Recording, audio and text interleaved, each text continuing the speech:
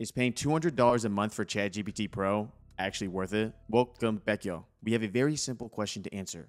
Is O1 Pro mode worth the additional money, or can we just use O1? Because as you already know, O1 is available on the $20 plan. Therefore, to best answer this question between O1 Pro and O1, I'm going to give the exact same prompt for multiple different industries and we're going to compare the outputs. And the way we're going to judge this is that based off these outputs, is it actually worth an additional 180 a month for the O1 Pro. As a side note, this is disregarding the other benefits of the Pro plan, such as unlimited access to the O1 models, and unlimited access to voice mode. So if that's important to you, then this doesn't really apply to you. I think most people's reason to possibly pay for the Pro plan, other than the fact that it may include Sora in the future, is how good the O1 Pro model really is. For this prompt, we're going to be testing creative storytelling. Write a short science fantasy story about a nomadic tribe on a distant planet who must tame giant insects to survive their annual migration. The story should highlight themes of cooperation and adaptation. Hit enter. As you know, I'm going to put the exact same prompt into the O1 model. It is thinking. Same prompt, O1, go.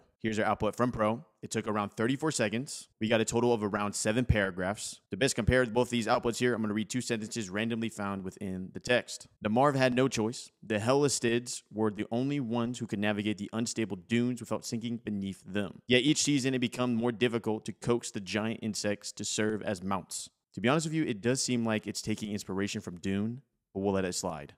Coming over to the O1 output, that only took around a couple of seconds, with the total amount of paragraphs being 10. Choosing two random sentences here, I'm going to say, as the trio advanced, Nora's heart trembled. She recalled last cycle's failed attempt when she had rushed in alone and spooked the Clemens, scattering them across the desert. The tribe had struggled, traveling in the near dark, losing precious supplies in the shifting sands. Not bad. So then that leaves the question if you use ChatGPT in the context of writing, is it worth the additional $180 a month when the outputs look so darn similar. This may be a recurring theme here, but let's go to prompt two. Prompt number two, let's go ahead and solve math problems. Solve this problem step by step. If a ball is dropped from 100 feet and bounces back to 80% of its previous height on each bounce, what is the total vertical distance traveled by the time it stops bouncing infinitely? Hit enter. From O1 Pro, it took around 52 seconds. It went ahead and structured the output step by step like requested. Step one, identifying the pattern ball movement. Step two, expressing the total distance. Step three, setting up the series. Step four, the sum of the infinite geometric series. Obviously, we got nice UI here when it comes to the formulas. And finally, step five here, substitute back into the total distance formula. The final answer being 900.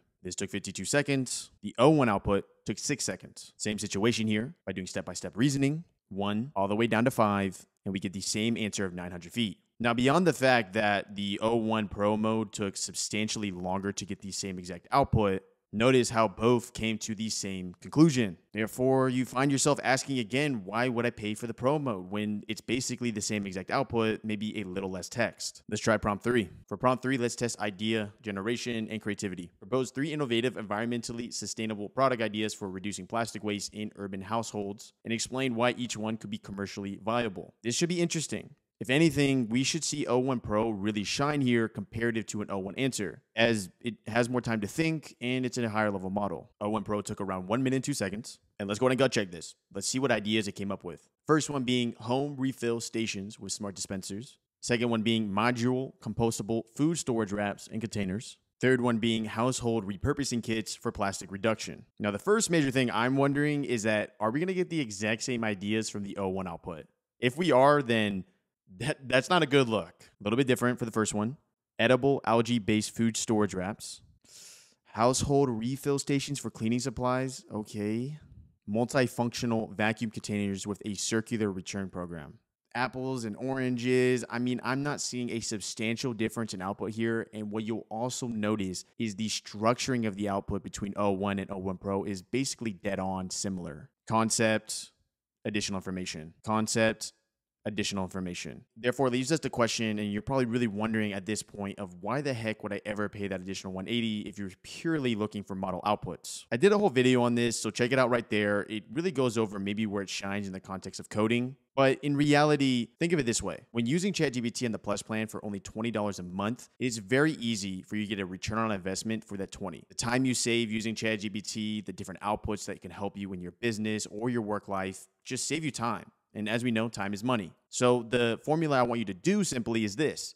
Do you feel like if you spent $200 a month, the amount of time you save from that $200 by using this high level model would be worth it? therefore leaving more heavily in the Pro plan's ability to give you unlimited access to all O1 models. That kind of is the big thing here. Knowing this though, I do see very specific use cases for spending that $200 USD for very specific types of industries. And I've said this in other videos, so you probably are familiar with this, but one that I know for 100% would be very useful to spend that $200 on is in the context of coding out an algo trader bot. Using a high level model like O1 Pro and then giving it context of wanting to build out a algo trading bot that can be traded on the stock market is very advantageous because you'd be able to recoup that 200 USD very fast when you build out an algo trading bot that can recoup that money by trading the stocks. That's a whole different conversation. That's even possibly a whole different video. But for now, make sure you leave like it's completely free. I may have just saved you $180 a month, and I'll see you in the next video. Are you gonna get the pro plan, or are you just like, whoa, whoa, whoa? I'm glad I never paid that money to even test it. Those are two random videos. That's my face. I'll see you in the next video.